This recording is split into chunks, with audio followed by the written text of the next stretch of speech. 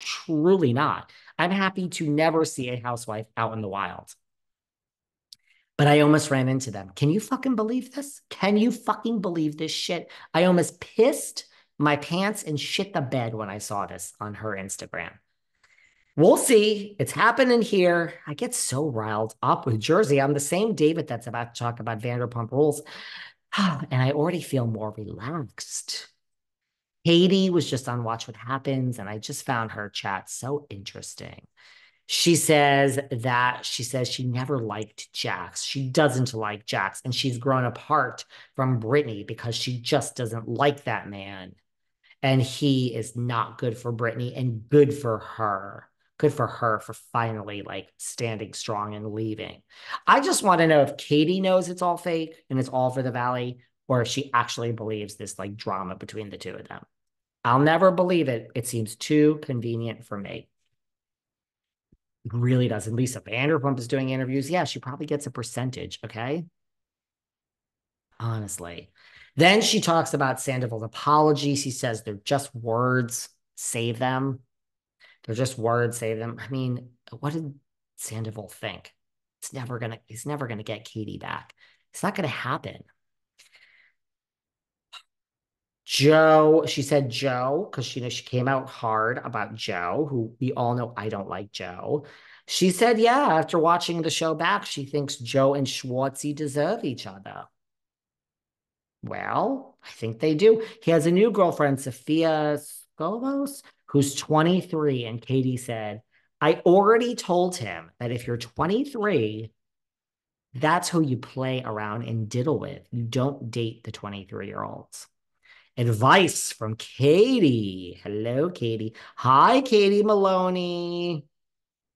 Something is just in here, and it's regarding, I mean, Oh, I mean, we already knew this. Larsa and Marcus Jordan split. Okay, enough already. Does anyone fucking care? I truly don't care. Just leave it. But something is popping up here about Frankel. Bethenny Frankel is slammed.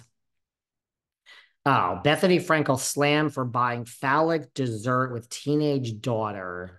Bryn as fans react. I mean, is this really? This is what's popping up here in real time. So I'm sorry to waste your guys' time with this. Oh God, who the fuck wrote this? Okay. She was called out for her dieting. Right. She said, try everything.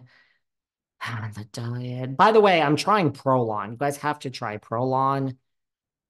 I'll put, if you want my code, I'll share it with you. You get 10% off. This isn't an ad. I'm truly trying it. It's a five day fast. And when you get it, this is why I love it each thing is in a box. So you open it, it says day one, day two, and you don't fast. You you're not eating a steak dinner, or you're not eating a chicken palm or a pepperoni pizza, but you do eat, and it's not a diet, it's science, which I know sounds like a tagline, but it's true. It tricks your body into thinking that it's fasting.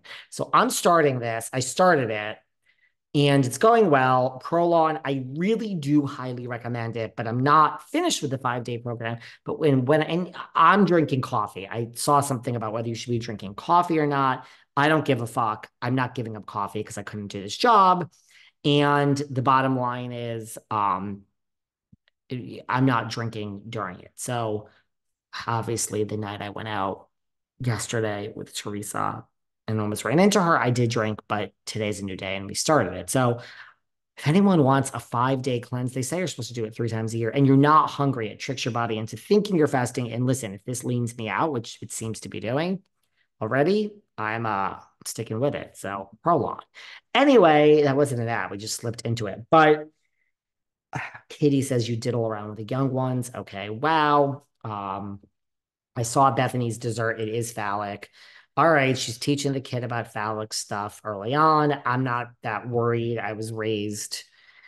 I mean, I guess you could say I've turned out totally fucking psychotic and fucked up, but I've been raised uh just to, you know, I've been raised to just um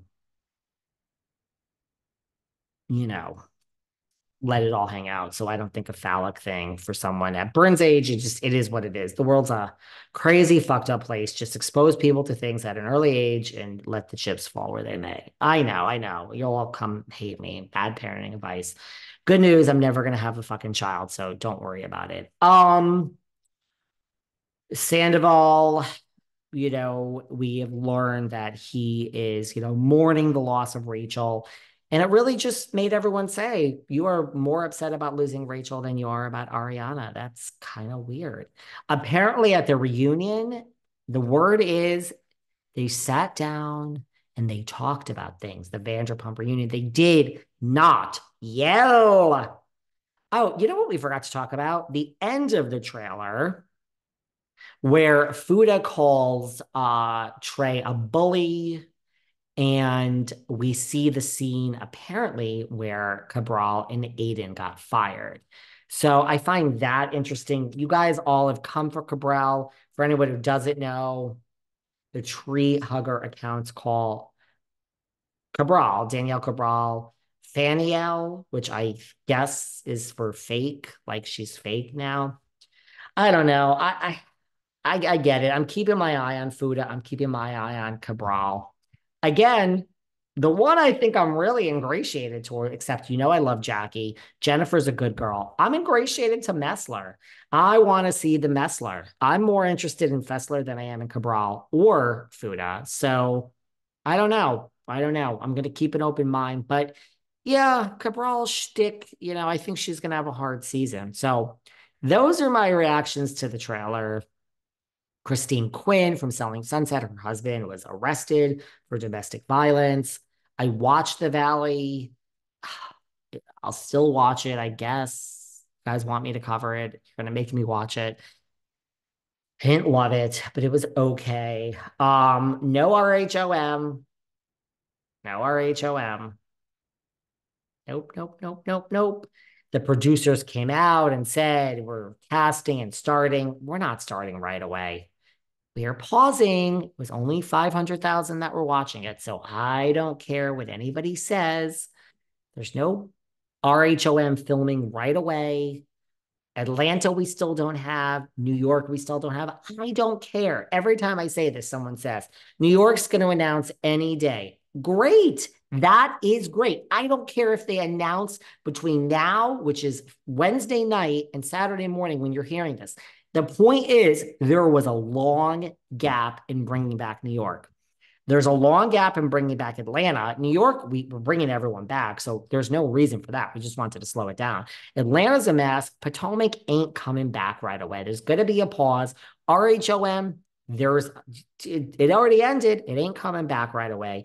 Just Beverly Hills. I think Vanderpump will just come back. This is the new normal. So you're going to be waiting a long time for all of your franchises in between franchises.